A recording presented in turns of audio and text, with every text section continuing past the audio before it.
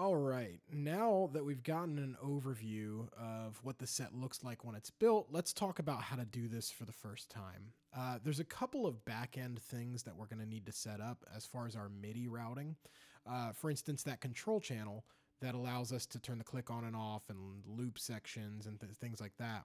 Uh, what it does, it's it's it's sending MIDI out on a MIDI bus, and then it's coming back into ProPresenter. So it creates this loop that the data the the MIDI notes actually go out of ProPresenter through a bus and back in, and uh, it uses this this thing that Macs have built in called an IAC driver bus, and really this is just a pathway that allows MIDI data to travel from program to program on the same computer.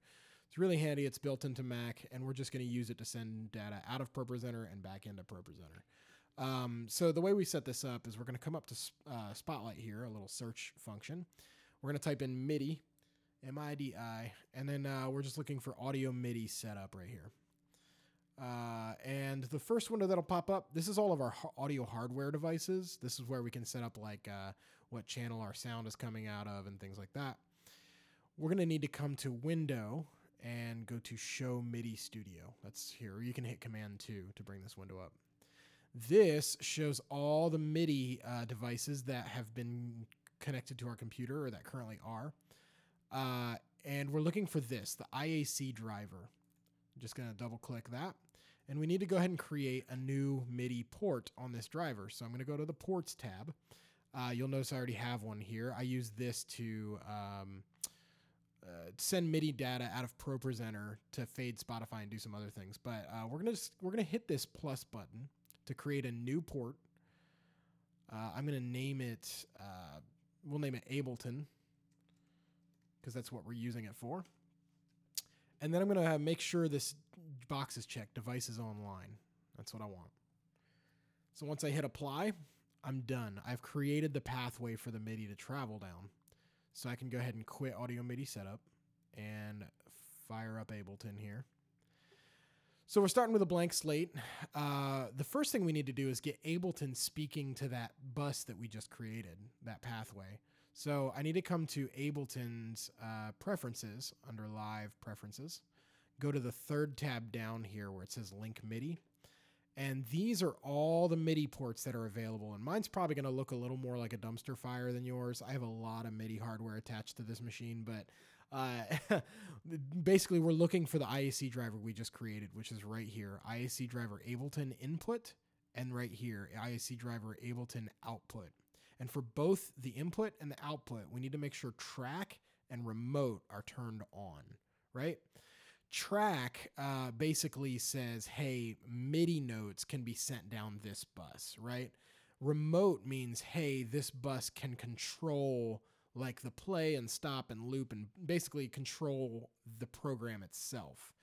Um, so we want to make sure that track and remote are on for the input and the output, um, which they are. Good to go. All right, so now we're ready to create our control channel and start assigning stuff.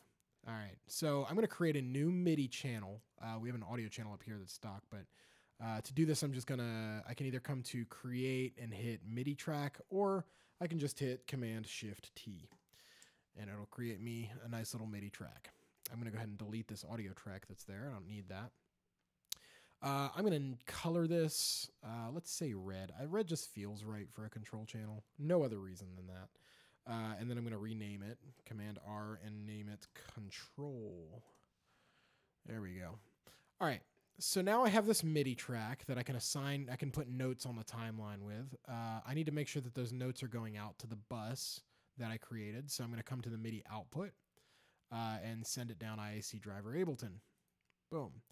So now any notes that are on this track get sent out to the bus, come back in, and control Ableton. So now we need to set up some MIDI assignments. And I'm going to delete what I have here because uh, I have some preset ones just so I can build a few new ones. So when I hit this, uh, this MIDI button, it goes into MIDI assignment mode. And anything that turns purple, I can assign a MIDI note to to control. So essentially, I can have Ableton control I can I can have this track control any function in Ableton, whether it's a mute on or off, whether it's uh, you know setting markers or playing and stopping, setting loop sections. I can have it do anything. It's crazy. Um, so let, let's set this up really quickly. So I'm going to create a MIDI region. So I'm just going to double click uh, in the track to create a region in the timeline. And I'm going to assign a note or write a note into that region. Uh, let's just do like a C0. That feels right. So I'm going to double click here to, to insert my C0 note. Um, and now let's say I want to assign this C0 to the stop command, right? Um, so every time I put a C0 in the control channel, I want it to stop Ableton. So this is really great to put at the end of your set or something like that as an auto stop. I'm going to go ahead and uh, create that C0. I'm going to select the region. I'm going to hit MIDI to go to MIDI assignment mode. I'm going to hit stop to say, okay, I want to assign this button. And then I'm just going to play that note I just created. Boom. And you can see uh, if we expand this little side tab, now, note C0 is, is bound to the stop command. So every time I put in a C0 in the control channel and it comes across it in the timeline, it's going to stop when it gets to it. Boom. That's it. Pretty easy, right?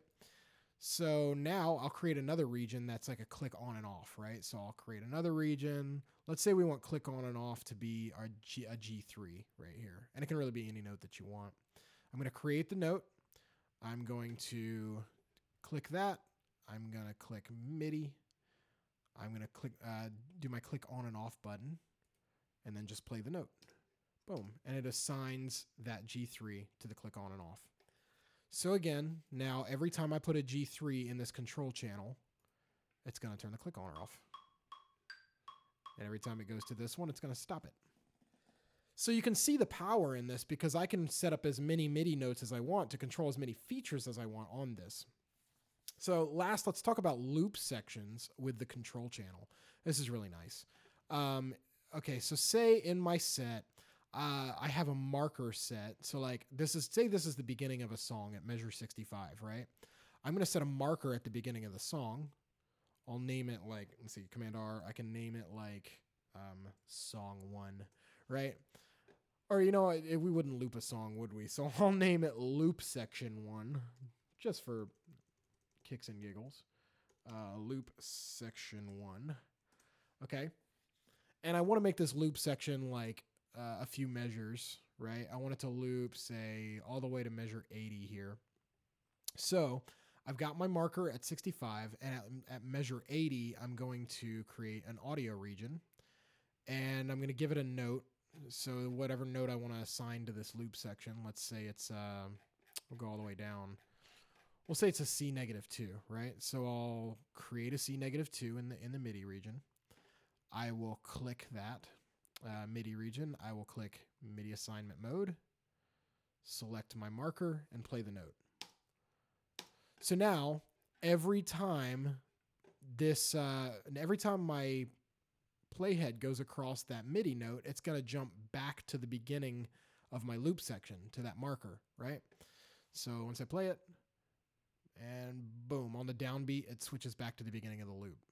So now I have this really neat loop section. Um, pretty easy stuff. So again, you can assign this to any function in ProPresenter. So if during your project you need it to do something with the program, you can assign it to a MIDI note. Really, really simple stuff. Um, but that's the basics of the control channel. That's where we need to start when we start doing our sets. Um, so I'll end this one here, and next video we'll talk about how to take this control channel and then start building our set and uh, and and make it uh, turn it into a template that we can use. Um, so I'll see you on the next one.